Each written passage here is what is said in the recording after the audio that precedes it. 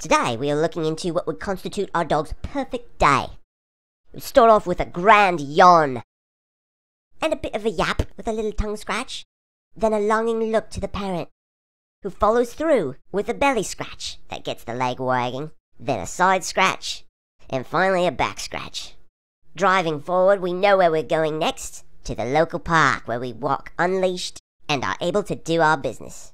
This is very satisfying to say the least. Back at home, we find an unguarded pile of undergarments.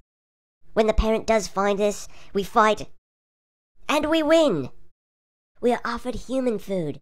We take it, devour it, and make an absolute mess of ourselves. Later checked, there is no sign of wrongdoing.